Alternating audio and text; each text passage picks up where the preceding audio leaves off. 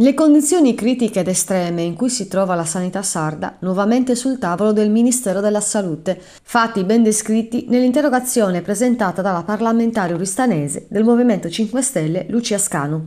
Secondo le ultime stime, in tutta l'isola mancano 1500 tra medici e infermieri. Si tratta di un dato che tende a crescere perché l'età media del personale sanitario è elevata e le due università sarde non riescono a stare dietro ai pensionamenti, con un trend che, se non sarà invertito, vedrà la Sardegna costretta nel giro di pochi anni a dare un alto taglio a prestazioni e assistenza di base. A Montecitorio si conosce bene la storia dell'ospedale San Martino, infatti quello depositato non è il primo intervento in cui compaiono la città di Oristano e la sua sanità gravemente malata.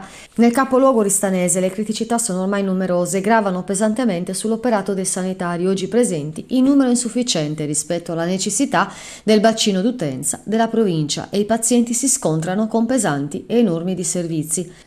A Oristano la grave carenza di organico e il progressivo depotenziamento dei servizi sta portando a una situazione precaria che traghetterà il nosocomio verso la chiusura. La carenza di personale si attesta al 30%. Dai reparti arrivano notizie sempre più tragiche. Pediatria ha necessità di 12 medici, oggi ne sono presenti 8. A gennaio 2022 diventeranno 4.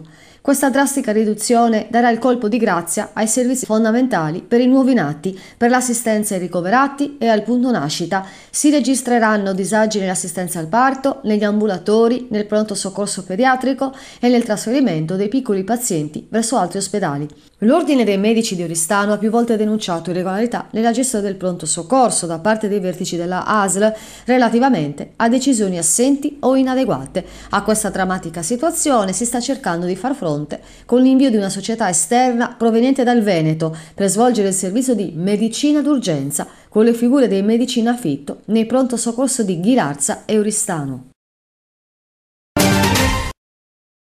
Venerdì scorso si è rimasti incollati alle tv di Stato e private ad ascoltare i diversi telegiornali che all'interno delle notizie trasmesse vi erano anche quelle dei 1300 migranti che da giorni a bordo delle navi di soccorso erano alla ricerca di un porto sicuro dove poter attraccare tra i migranti numerosi bambini, diverse le donne partorienti, il tutto raccontato con fredda e cinica determinazione da speaker che non andavano oltre la narrazione dei momenti di pericolo, riferimenti dovuti ma ridotti alla mera telecronaca. Non una parola viene spesa per richiamare i paesi dell'Unione Europea a fronteggiare con l'Italia quello che diventa ogni giorno di più un dramma dai risvolti sociali che coinvolgono migliaia di persone ed è difficile capire il senso di alcuni incontri svoltisi ai massimi livelli istituzionali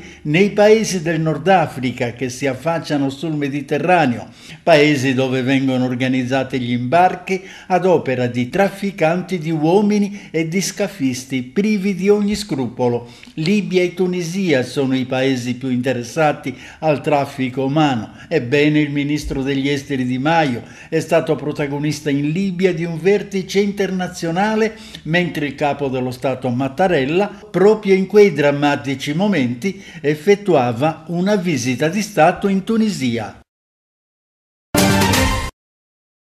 A causa dello sciopero generale proclamato dalle organizzazioni sindacali CGL, CISL, Wiltra Trasporti e Fiadel, stamattina a Oristano si sono verificati disservizi nel servizio di raccolta differenziata. In relazione al copiscuo numero di addetti che hanno aderito, non è stato possibile garantire il regolare svolgimento dei servizi. L'azienda Formula Ambiente ha provveduto all'effettuazione delle prestazioni indispensabili ai sensi dell'articolo 2 della legge 146 1990 il comune di Oristano chiede scusa agli utenti per i disagi derivanti da cause che esulano dalla propria competenza. Si assicura comunque la pronta riattivazione del servizio a partire dalla giornata di domani, martedì 9 novembre.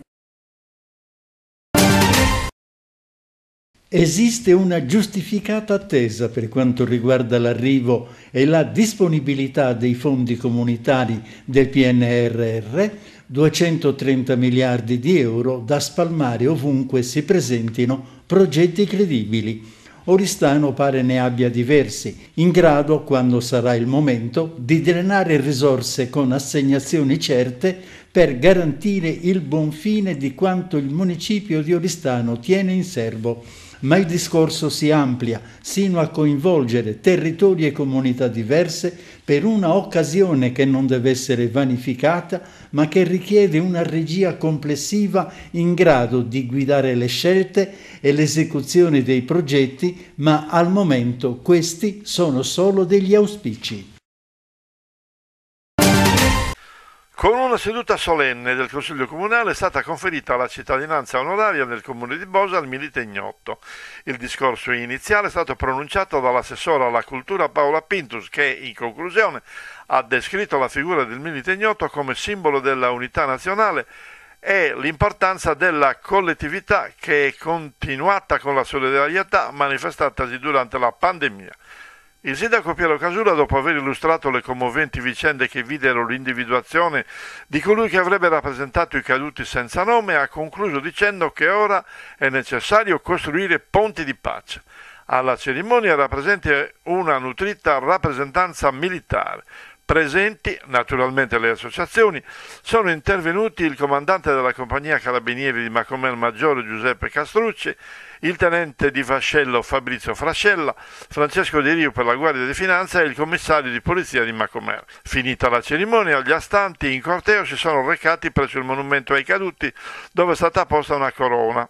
Stringata ed essenziale invece la manifestazione a Macomer, niente milite ignoto e men che meno discorsi sull'unità nazionale. Al mattino il sindaco Sucu con le autorità militari ha deposto una corona sul cibo che ricorda a Tossilo il tenente colonnello Becchi Luserna, ucciso mentre tentava di fermare alcuni dei suoi che volevano unirsi ai tedeschi. Poi, sempre accompagnato dal comandante dei guastatori Vittorio Gisonni, ha deposto una corona sul monumento ai caduti.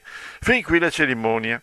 Se però è giusto come è giusto ricordare chi è morto combattendo per la patria, tanto più umilmente come il milite ignoto, non bisogna ignorare alcuni aspetti meno esaltanti per esempio a coloro che sono stati mandati senza scrupoli sotto il fuoco nemico, esposti al massacro da ufficiali crudeli e spocchiosi, e ancora a coloro che furono fucilati in nome di una disciplina pretestuosa e sadica. Se, come disse Bertolt Brecht, sventurata la terra che ha bisogno di eroi, non si può non parlare delle cause che scatenarono il primo conflitto mondiale, originato soprattutto dalla protervia volontà di supremazia delle grandi potenze, per concludere che anche oggi potremmo correre lo stesso pericolo. Quasi 10 milioni di soldati caduti, di cui 15.000 sardi, più un milione di civili durante le operazioni e ancora 6 milioni morti per fame o carestia conseguenti.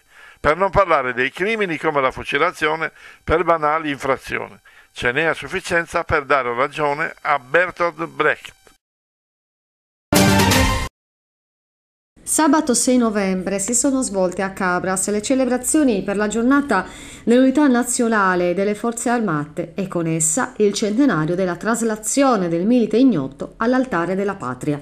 Il sindaco Andrea Abis e i rappresentanti delle istituzioni civili, militari e religiose hanno partecipato alla cerimonia nella pieve di Santa Maria Assunta per poi dirigersi in corteo verso le piazze Principe di Piemonte e Azzuni per la deposizione delle corone da loro.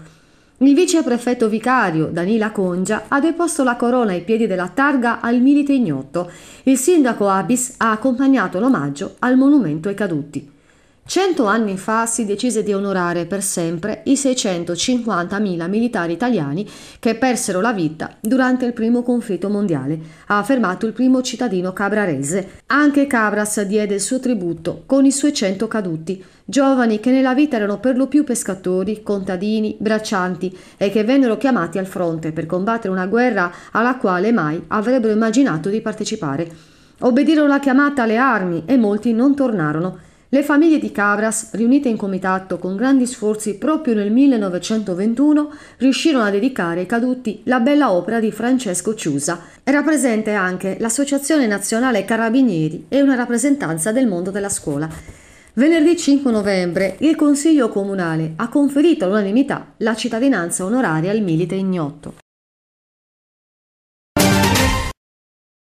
Si è conclusa sabato scorso 6 novembre la prima edizione di Connetica, il Festival delle interazioni tra digitale ed etica, promosso e organizzato dall'Associazione di Promozione Sociale Oristano e Oltre, con il patrocinio del Comune dell'Assessorato alla Cultura e con il sostegno di Fondazione Oristano e Fondazione di Sardegna. Durante la tre giorni del festival, istituzioni, scuola, professionisti e studiosi hanno dialogato sul digitale e sulla necessità di un'etica ritrovata. Ma non solo. Si è parlato anche di architettura, di luoghi in trasformazione e di un paesaggio che si plasma intorno al futuro. Sono stati gettati i primi semi per future connessioni, volti a creare punti di interazione e infine si è parlato di luoghi in trasformazione, ma anche di nodi di evoluzione e cambiamento. È appena finito una tre giorni densa di appuntamenti di contributi sulle interazioni tra digitale ed etica, faticosa ma davvero entusiasmante, ha affermato Giampiero Vargiu, presidente dell'associazione organizzatrice dell'evento. Il nostro obiettivo principale, ha aggiunto Giampiero Vargiu, era disseminare un seme che spero possa dare i suoi frutti in futuro. Come associazione abbiamo voluto dare alla nostra comunità un'occasione di dibattito e di incontro su alcuni temi cruciali per la nostra vita e del nostro pianeta di oggi e in futuro. Scuola, lavoro, città di prossimità, solidale a misura di persona, digitale e nuove tecnologie. Inoltre, All'interno di questo obiettivo il target principale è stato il coinvolgimento delle giovani e dei giovani e anche attraverso il contributo fattivo del De Castro ci siamo riusciti. Certo è un inizio, in futuro c'è molto da fare, coinvolgendo tutte le scuole oristanesi. Questi due obiettivi, anche se parzialmente, credo che li abbiamo raggiunti. Sono 30 i casi registrati in Sardegna, sono stati processati in totale fra molecolari antigenici 3.553 test. I pazienti ricoverati nei reparti di terapia intensiva sono 6, i pazienti ricoverati in area medica sono 49, 3 in più rispetto a ieri. Non si registrano decessi, a Oristano non si sono registrati nuovi contagi, ferme anche le guarigioni. Sono giorni di apprensione a Milis per la scomparsa di Fabio Manunza, il ragazzo, 21 anni, 1,80 m, non dà sue notizie da lunedì 25 ottobre. Dopo un breve periodo di lavoro a Worms, in Germania, Fabio aveva comunicato alla famiglia di voler tornare in Italia, probabilmente a Milano, ma da allora i familiari non riescono più a rintracciarlo al telefono. I tecnici di Abanoa hanno riscontrato un malfunzionamento alla pompa del pozzo di via Pergolesi e stanno intervenendo per la sostituzione delle parti danneggiate. Oggi, fino al completamento dei lavori, potranno verificarsi disservizi alle utenze servite dal pozzo. Questa sera il ponte sul Tirso è stato riaperto al traffico. La chiusura era stata disposta dalla provincia per consentire l'esecuzione dei lavori programmati per la sostituzione di un giunto di dilatazione.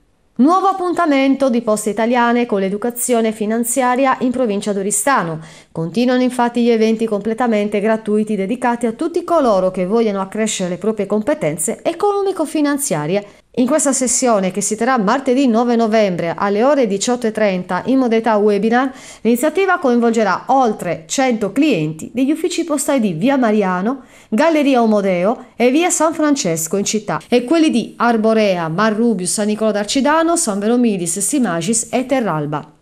Nuova giornata di raccolta di rifiuti nelle campagne di Cuglieri organizzata da un piccolo gruppo di semplici cittadini. Appuntamento dunque domenica 14 novembre. La seconda giornata, che prevede la partecipazione degli scout a Gesci della zona di Oristano e Nuoro, verrà dedicata alla bonifica del territorio devastato dall'incendio e alla riflessione su quanto successo attraverso l'ascolto delle testimonianze e della comunità.